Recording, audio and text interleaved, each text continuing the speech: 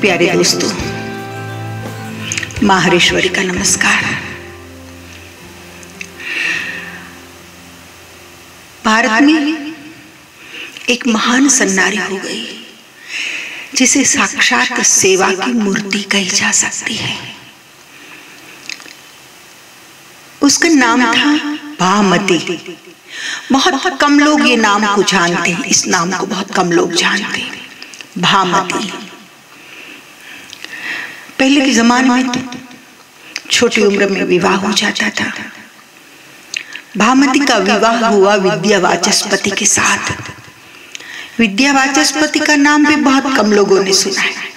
क्योंकि आज रस कहाँ लोगों का?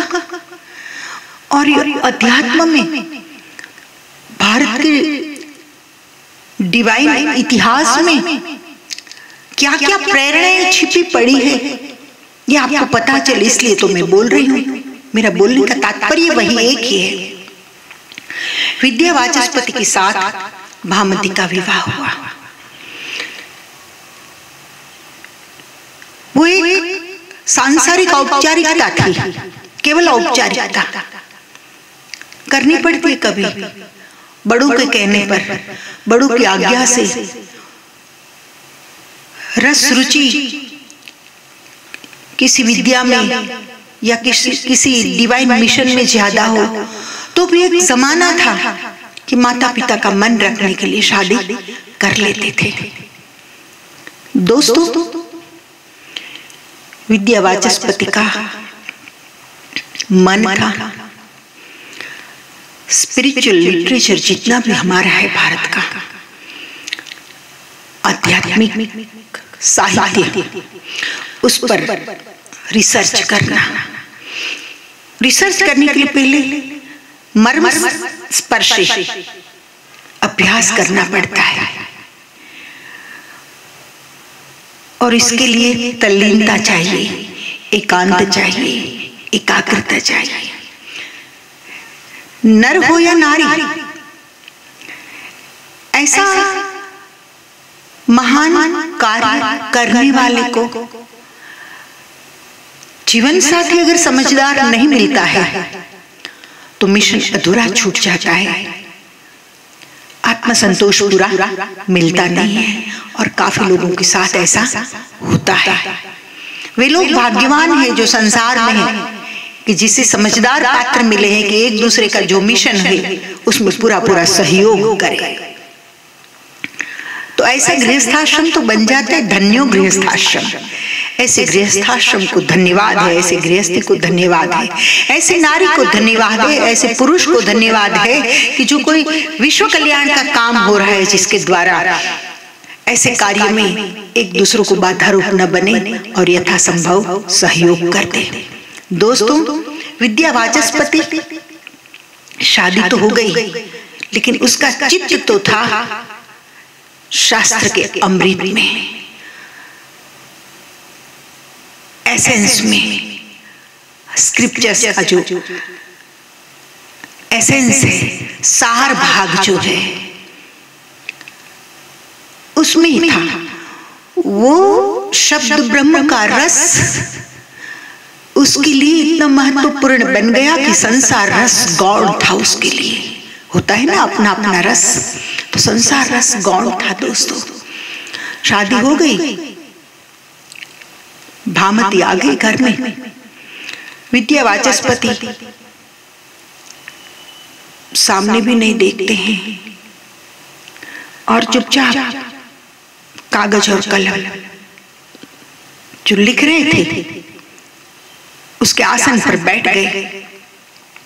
विद्या वाचस्पति कितने विषयों पर रिसर्च कर रहे थे? काम कर रहे थे टीका लिख रहे थे।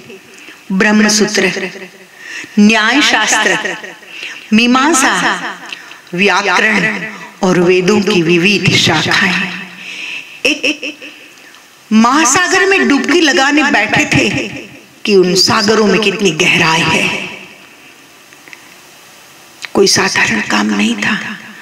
शादी कोई भी कर सकता है बच्चे कोई भी पैदा कर सकता है। लेकिन विद्यावाचस्पति ने जो काम किया वह हर कोई नहीं कर सकता करोड़ों में एक आध बंदा ये कार्य कर सकता है और ऐसे लोगों की वजह से हमारा शास्त्र जीवंत रहा है हमारा इतिहास जीवंत रहा हमारे वेद जीवंत रहे और सरल बन गया। सरल बन गया समझने में। खैर भामती समझ गई। वो छोटी सी लड़की कितनी समझदार हो गई। वो समझ गई कि ब्रह्म रस ही उसका रस है। उसे मैं विक्षेप करूँ मेरा अधिकार मांगू।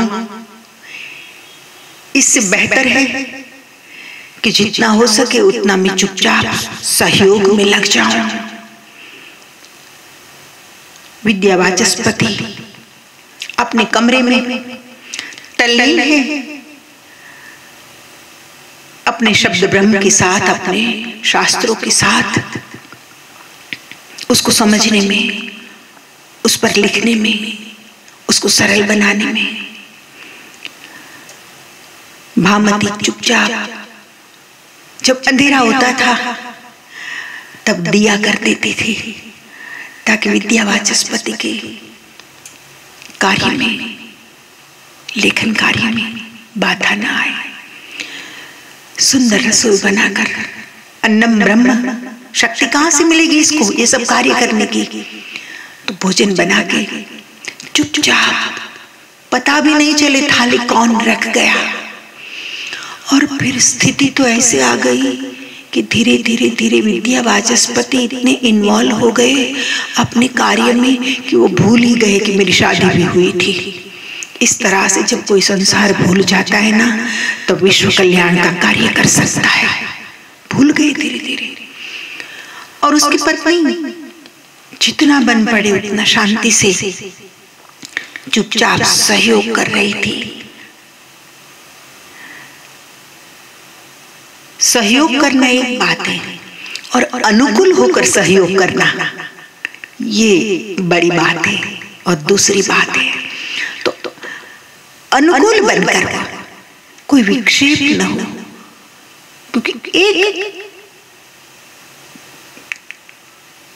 किरण सत्य की कहीं से आ गई पकड़ में आ गई कोई बात शास्त्र में से ऐसी। इसका अर्थ घटन सत्य बन जाए सत्य रूप बन जाए। अगर कोई ऐसे क्षण में विक्षेप कर देता है तो वेदना क्या होती है? उसका अनुभव मैंने बहुत किया है। क्योंकि मुझे जो कुछ अध्ययन पठन लेखन चिंतन वांचन मनन करना था और ग्रंथ जितने भी लिखने थे उसमें मुझे तो काम लेना था स्टाफ के पास से। स्टाफ एक चीज़ होती है और समर्पित बंदा कोई हुई दूसरी चीज़ होती है। तो विद्या वाचस्पति के लिए जो एक माहौल और शांति बनाए रखी भामती ने। बहुत मूल्यवान है। बहुत मूल्यवान है। ऐसे करते करते करते जीवन निकल गया। विद्या वाचस्पति वृद्ध हो गए। और भामती भी वृद्ध हो गई जितना भी कार्य किया था जितना भी लिखा था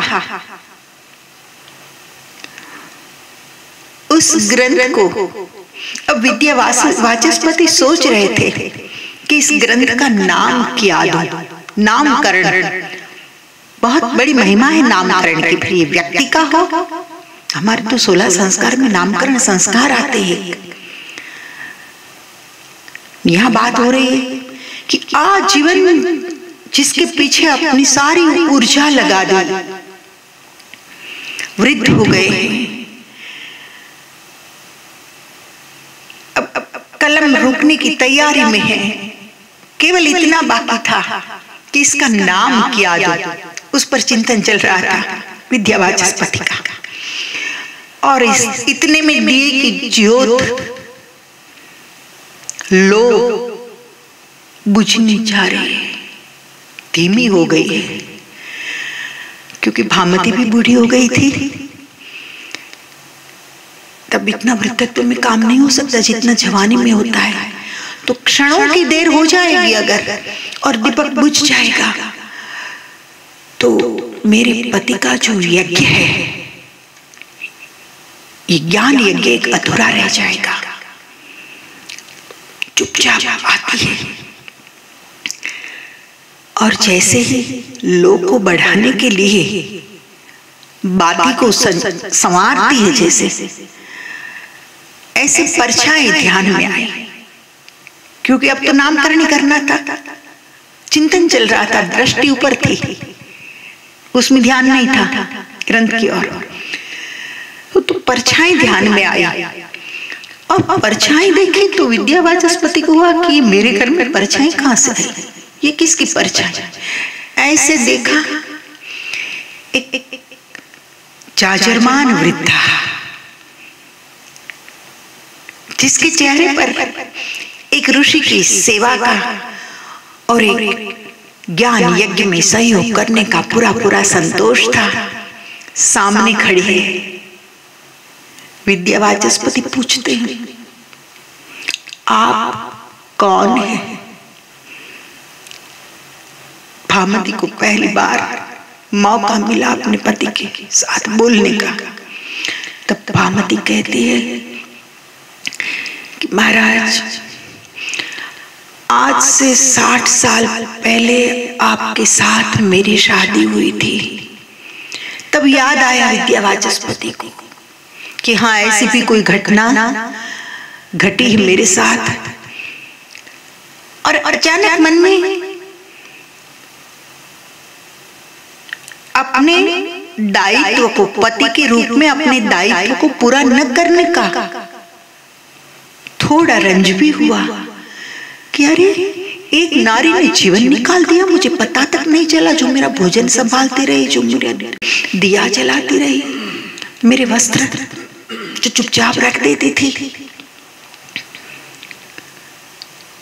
विद्या वाचस्पति की आँखों में आँसू आ गए। हाँ। श्रीमती मुझे मेरे ग्रंथ का नाम मिल गया। बोले क्या नाम रखोगे? आपका कार्य पूरा हुआ बोले आप पूर्ण हो गया। और मुझे नाम मिल गया। बोले क्या नाम रखोगे? इस टीका का नाम मैं रखता हूँ भामती टीका। अमर हो गई उसकी पत्नी। पत्नी। के नाम से पूरा साहित्य। विद्या वाचस्पति को लोग कम जानते हैं। लेकिन कुछ लोगों को मैंने देखा है, ऐसे जिज्ञासु लोग कहते मुझे एक बार भामती टीका पढ़नी है। तो बोले, भामती क्या है? ये ऐसी समर्पित सेवा मूर्ति सन्नारी थी, एक ऐसी समग्रता से पति के कार्य में जीवन अर्पण करने वाली नारी थी, जिसका नाम लेते हुए समग्र नारी समाज को गौरव लेना चाहिए। दोस्तों धन्यवाद। अच्छा लगा है तो वीडियो शेयर करना, लाइक करना और ऐसे ही सत्संग के लिए सब्सक्राइब ज़रूर करना। नमस्कार।